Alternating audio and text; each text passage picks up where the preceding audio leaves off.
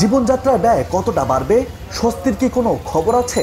Budget আসলেই এমন প্রশ্ন ঘুরপাক খায় মানুষের মনে।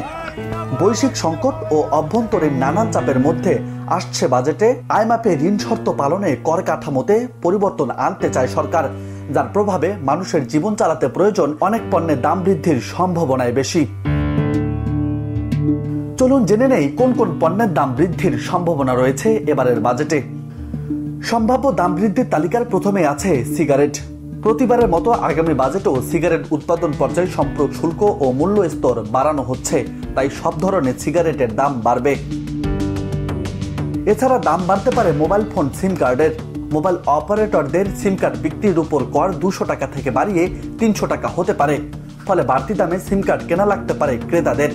শুধু মোবাইলের সিম কার্ড নয়, মোবাইলে কথা বলতেও প্রয়োজন হতে পারে বাড়তি খরচের।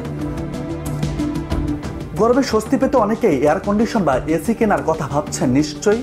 আগামী বাজেটে এসিকে বিলাসী পণ্য বিবেচনা করে দেশে এসি উৎপাদনে ব্যবহৃত কম্প্রেসার ও সব ধরনের উপকরণে শুল্ক বাড়ানো হচ্ছে। তাই এসির দাম বাড়তে পারে, ফ্রিজের দামও বাড়বে বলে ধারণা করা হচ্ছে।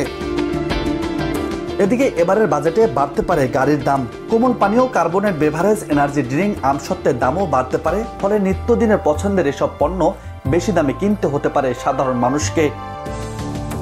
দেশে কাজু বাদাম চাষকে সুরক্ষা দেওয়ার অংশ হিসেবে খোসা ছাড়ানো কাজু বাদাম আমদানিতে শুল্ক পাঁচ শতাংশ থেকে বাড়িয়ে দশ শতাংশ করা হচ্ছে।